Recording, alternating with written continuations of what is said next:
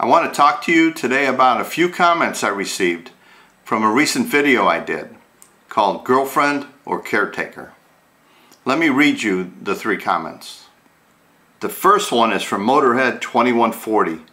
Have you made financial arrangements for her when you're gone?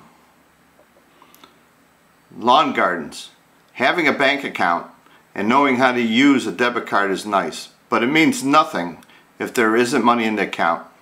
Since you asked her to stop her career, it is your responsibility to make sure that when you're gone, that she doesn't have to live in a shack earning 7,000 pesos a month. That would mean meeting you was a mistake if that happened. And the last comment is from Home Base Belgium, 359. I do have some concerns. You say that you're going to be together until the end, and I truly hope so. But because of your age gap, your end is going to come much sooner than hers. Is she taken care of if that happens? Because many girls have a good life as long as their husband is alive. But when he dies, they go back to square one.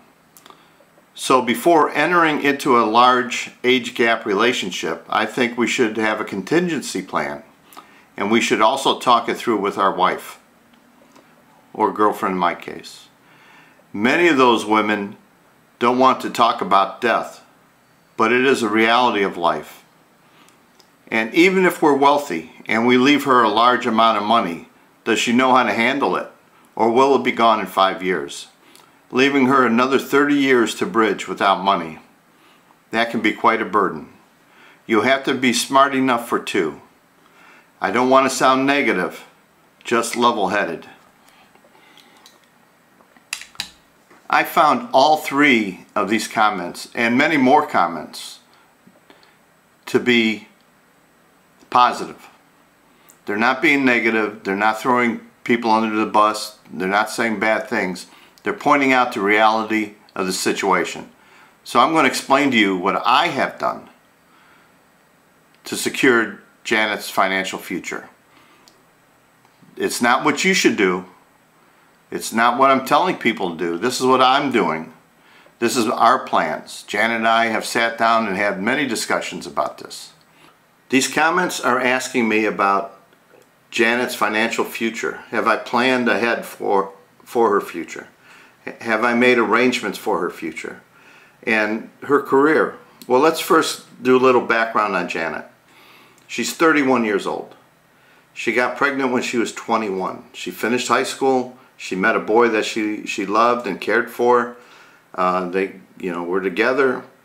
She got pregnant, had the baby, and then he took off. So that, that's her past.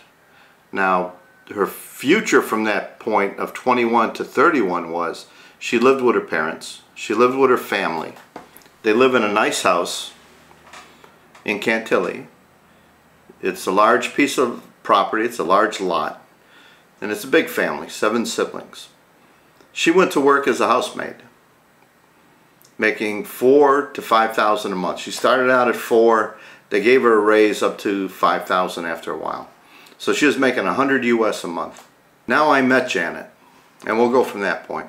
Once I met her and I decided I wanted Janet to be with me full time, I did not want a part-time girlfriend. I did not want a girl that worked and would come home at night, you know, tired, exhausted, take care of her child, and then just have a few minutes for me. I wanted a full-time girlfriend. I was selfish in this aspect.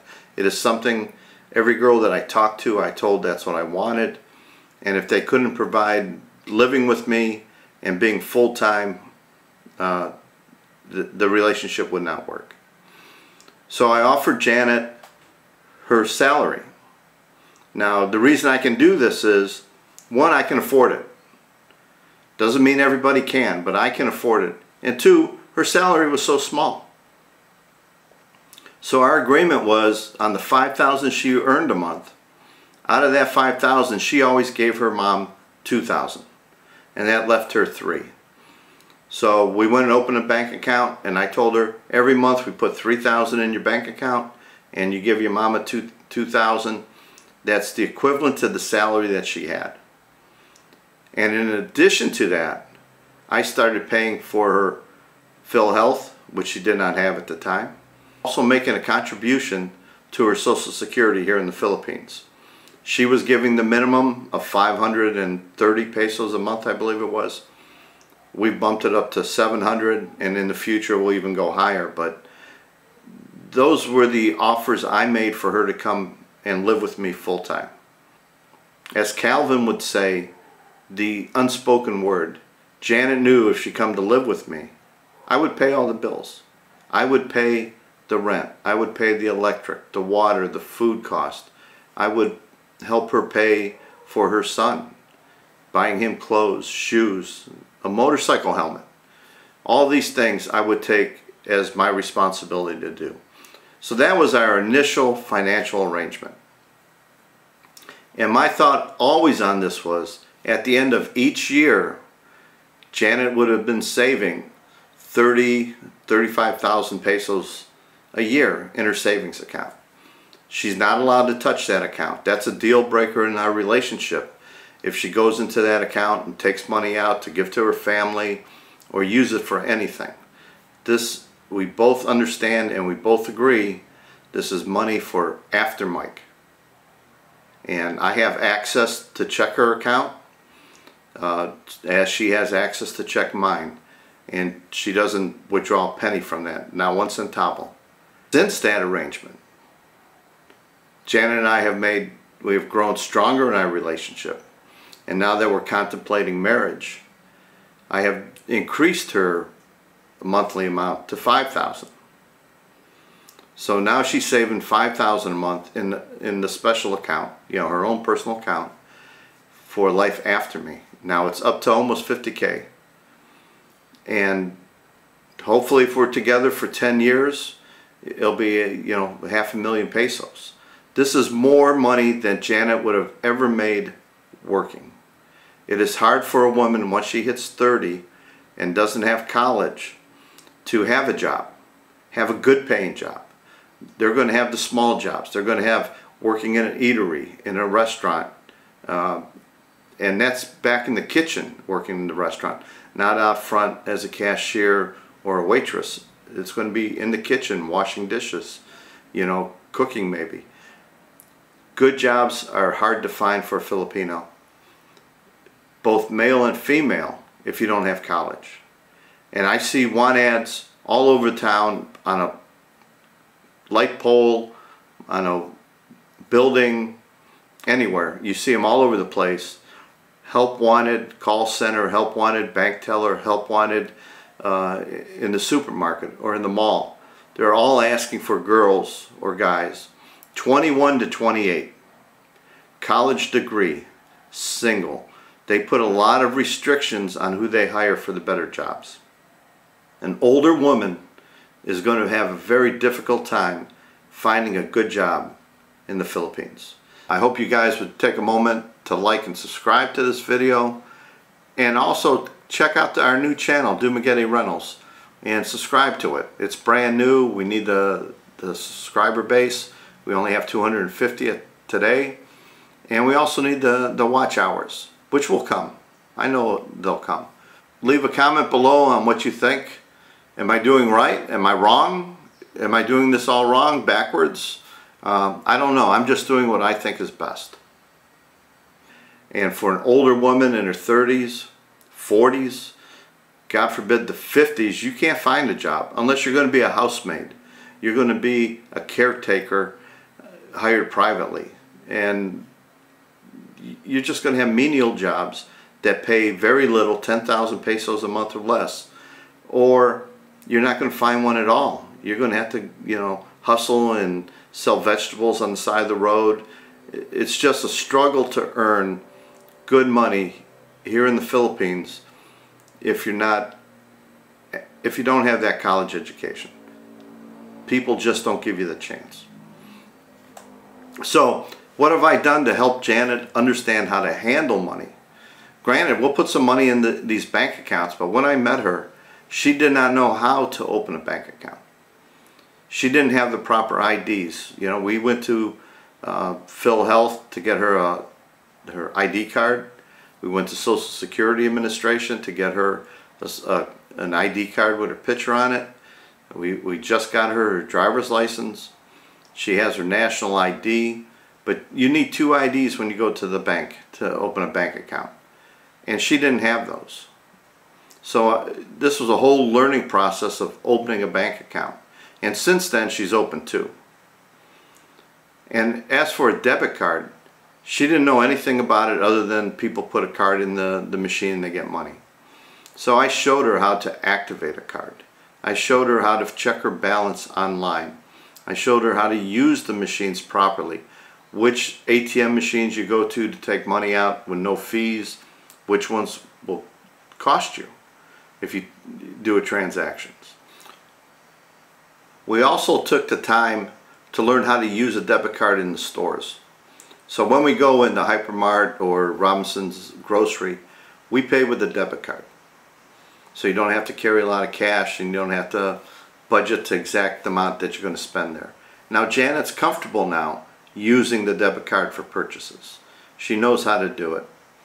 Our last trip up to Cebu, uh, we paid for the hotel with a, with a debit card. And Janet knew how to do that. So all these little things where a year ago she didn't know how to do any of it. It was all new to her. She was scared to try. She can do that now. We also received a credit card for Janet. So I'm going to teach her about credit, the value of credit. And here in the Philippines, I don't know if they have a credit reporting system like in the States, but credit is important. You have to build a relationship with your financial institution. She has to build a relationship with BDO. She has to. You never know when an emergency will come up in life and she's going to need a, you know, the assistance from a bank, a small loan, a bigger loan. And she has to know the cost of a loan. Now to get a loan here in the Philippines, it's very expensive. There's a lot of fees. Uh, trying to get a personal loan, there's a lot of fees on the credit card. So we're going to just use it maybe one transaction a month and pay it off. One transaction a month and pay it off. To build the credit line for her that the bank will learn to trust her in the future. Now my money, I've shown her how to access my money in the States.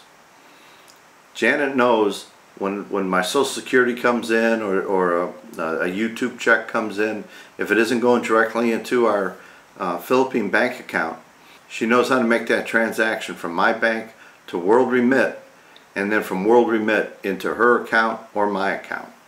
And she knows how important it is to do it correctly and to make sure there's no mistakes in the transaction. She has to make sure the name's correct, the account numbers are correct. She has to know all this stuff. And she takes her time. She learns. She'll sit up all night watching, and I hate to say it, watching YouTube on how to do things. She'll research things on how to do them. Same thing with how to operate the camera, same thing with how to upload a video to YouTube. She stays up late at night after all her work with her son and all her housework is done to learn things. So education, she, she's not having the education of university. You know, we can't do that. But she can get what I call street smart. She can get common sense smart, how to do things, how to transfer money, how money is valuable. And she knows the cost of hospitals.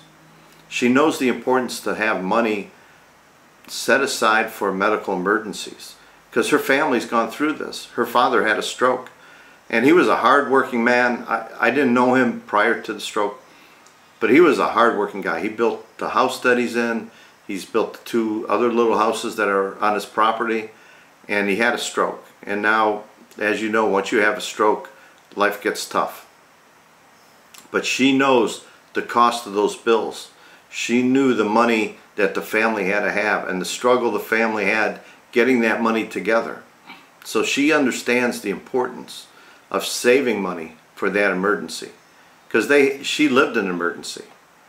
I don't know how they handle it financially. I wasn't here at the time. I didn't ask. But you can see in her face whenever we talk about money and you know how much we have every month we go through our finances I show her how to check the balance so she knows we're growing our finances monthly. A little bit each month more, a little bit more in the bank, a little bit more in the bank. And she understands that. And she is proud when we have a good month and we didn't overspend and we were able to stay in the budget and we were able to save some money and still have a good time in our life. So how do I leave her? Do I leave her with a bank account and no money in it? Do I leave her money and no education on how to handle it? The answer to both those is no. Have I financially left her in a great spot if I was to die today? She would be better off today than she was a year ago. But every month I live, every two months I live, every year, every five years I live, her financial situation will get better. We do have plans for her future. We do plan to try to buy a lot somewhere. And not necessarily going to build on that lot. But her son's 10. And when her son's 18, if they own a piece of property, a piece of land, he can get involved and they can build a house together. And there will be money in the bank account for her to start to build a house if I'm not here. But in the meantime, I'm not interested in building a house. I'm not interested in spending a lot of money to build a house. I like the availability to move around, but to buy her a lot somewhere close to her family is something I'm going to leave her. And if I was to die tomorrow, there's enough money here for her to go ahead and do that. So my financial resources, how am I going to leave her? Rick A once said in an old video, I remember he was leaving him and his girl, they, they, the relationship ended. And he was going to another island. But he gave her a motorcycle. Now this was a short-term thing and I'm not judging Rick. This is just a statement he made. He said, always leave the girl better off than when you found her. Leave her in a better situation than when you found her. I don't have a life insurance policy to leave Janet. And I'm too old to buy a life insurance policy. It just doesn't make sense at 68 to buy a life insurance policy. I don't have assets in the U.S. I have cash and nobody really knows where my cash is and how much I have. Janet will know more. The attorney knows. And she knows where to go if I pass and who to talk to. But her future is in her hands once I'm gone. All I can do is the best to educate her, show her how, how I do things, show her my way of life and what I think is the right way. Just because I think it's the right way does not mean it's the right way. It's just the way I like to do it. Other guys are much smarter than me. Other guys have better planning than me. Other guys are much younger than me. But I'm 68. I'll be 69 next month. So, yes, I think I've taken care of Janet financially. I do not think Janet will be living in a shack. I do not think she'll be working for 7,000 pesos a month. But she might. No matter how much I leave her or what I leave her, she might decide to go work. She might decide, because she's a hardworking young lady, she might decide, yeah, I have this, but I can go work and make seven, 10,000 more pesos every month. And she might do that. So what she decides to do for a living once I'm gone is not my choice. But she has she has options. And she has much better options than most people here. I see a lot of girls who have been in a relationship with a foreigner and then he just takes off. He goes, I can't live in the Philippines and he's gone. And they have to go back and live with the parents and go back to the exact situation they were in, except worse because they did give up their job. Worse because now five more years have gone by, past in their life. Three more years have gone past in their life. So for me personally, in my life with Janet, judge as you wish, and all those comments that I received on my age gap or caretaker video, 99.9% were positive comments. Positive comments. And a lot of the people that watch our videos know Janet.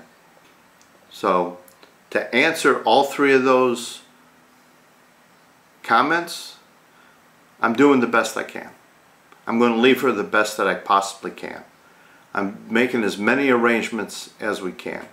And we're always talking about it. And financial education is something I'm always giving Janet. That is the one thing I can do. I can do that when we sit down and talk. I do that when we drive around and we see a piece of uh, property for sale or we see somebody building an inexpensive house and we stop and look at it, take some pictures. We're always looking at her future. Now she doesn't. The true the truest statement of all the comments I got there was let's talk about when I'm gone. They don't want to talk about that when you're dead. They don't want to know it. They don't they don't believe it'll ever happen. They know it will, but they don't want to face the fact that it's going to happen. They want today to last forever. And we all know today doesn't always last forever. Today just changes all the time. Every day is different. But they don't want to talk about the future. They don't even want to talk about the future of their son going to university or going to college or going to high school. They're just trying to get through the week. Mostly, you know, the I'm not talking about the rich Filipinos, um, the wealthy, the higher educated one. I'm talking about the, quote, general population. And I, that's even bad for me to say that. I just know Janet's life. They're just trying to get through day by day by day or month by month. They have a lot of assets, her family. They, they own some nice property here, very expensive. But the trouble is, it's only an asset, it's not cash. And because the father doesn't work and the, because of a stroke and the mother's old, older, taking care of everybody, uh, you know, life is a struggle. Life is hard. And they all say that. You ask Phil, life is hard. They go, yes, life is hard. But it's their life. It's the life they chose. And they don't want to talk about the afterlife. They don't want to talk about funeral arrangements. They don't want to talk about where you're going to be buried or, or cremated or what to do with your body. That you have to write down and put it in an envelope what you want done and make sure there's money available for them to do that and give that envelope to someone responsible. A copy to Janet in our in our box and a copy to the attorney here in the Philippines. So that part home base uh, Belgium is right. They don't want to talk about death. But as a man, when you come here to the Philippines, I don't care if the girl's older than you, same age as you, five years younger, 40 years younger. Doesn't matter. It's your responsibility, as they said in the comments, to take care of this girl. If you're choosing her for a lifelong partner. If you're just dating, that's a whole different thing. We're talking about a lifetime commitment here. And Janet, I'm doing everything I possibly can to keep her uh, well taken care of. This YouTube, the money from YouTube, it comes in 100% uh, of it. 25% goes to charity, 25% is going to a special savings account for Janet. The other 50% are my ta the taxes I have to pay and our extra expenses for having a YouTube channel, going to town to meet people, buying equipment, many different things. And our new channel, Dumaguete Rentals, is a channel that Janet's going to run. And it's going to be linked directly to her bank account. And it's easy for her to do rentals. She's been doing it all along. She doesn't do the voiceover, but she does the, the, the appointments, the filming, the editing, making contacts with people. That's all Janet. And if something was to happen to me soon, I would hope she would continue that. And I'm going to do our best to get it up and running. Take a look at these videos that I have on being with a single mom, our budget videos. Help us out. Watch our videos.